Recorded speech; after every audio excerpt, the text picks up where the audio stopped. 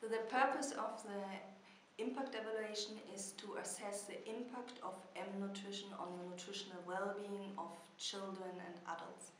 To explain a little bit more what M-nutrition is, so M-nutrition is a global initiative organized by GSMA, a trade body that uh, represents the interests of uh, mobile phone operators internationally, supported by DFID and implemented within the different countries by the local mobile phone network operators.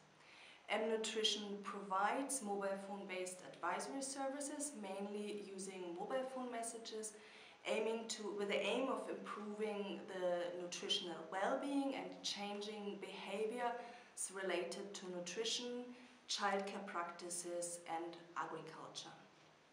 M-nutrition is implemented in the different countries to existing um, M-health or um, M-agricultural products. It's at the moment implemented in several countries in sub-Saharan Africa and in South Asia.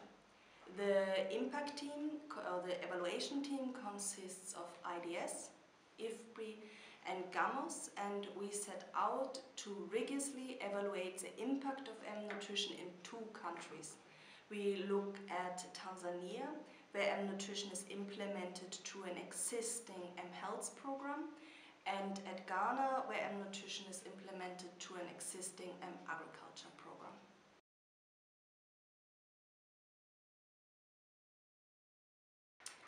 So child undernutrition remains a pressing challenge in many countries in the world, including Ghana and Tanzania. And the idea of M-nutrition is to provide information, to raise awareness, to change attitude, and ultimately to change behavior towards better nutrition behavior and also better agricultural practices. To explain a little bit more about the two countries, so in Ghana, currently 19% um, of children are stunted, too um, short for their age, and 5% are wasted, they are too light for their height and this is particularly, the, the undernutrition is particularly high in rural areas and in northern Ghana, the focus of our impact evaluation. In Ghana, M-nutrition is implemented via an existing um, um, agriculture program, Vodafone Farmer Club.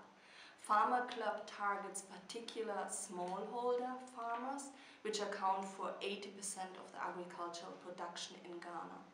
And smallholder farming faces many challenges in Ghana, in particularly very low productivity and very low um, agricultural income, which of course then have an impact on the socio-economic well-being of agricultural households and also on the nutritional status of the households.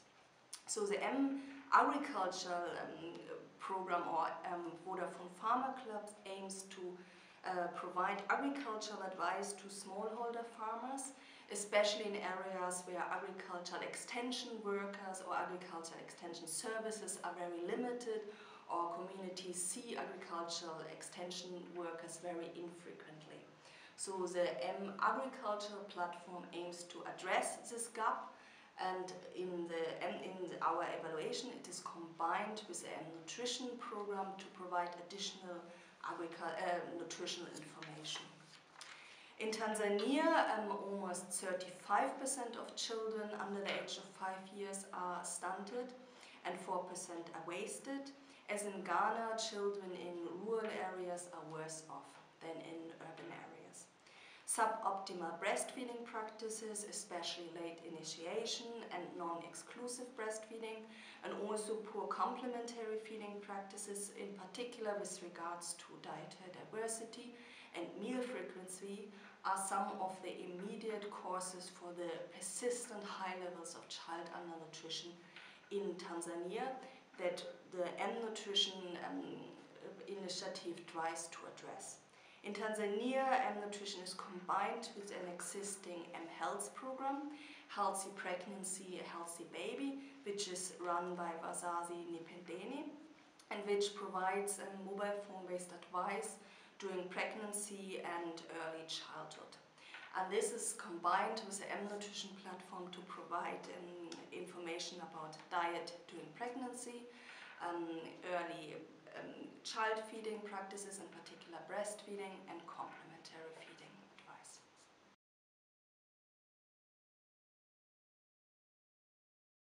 So we decided to use a mixed method approach for the impact evaluation consisting of three components.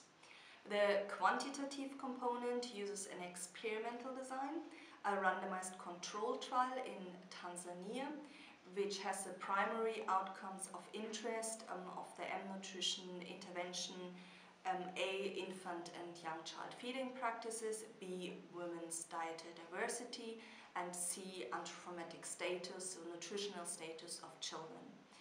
Um, in Ghana, we used a randomized encouragement design with the primary outcomes of household and women's dietary diversity, agricultural income, and agricultural productivity.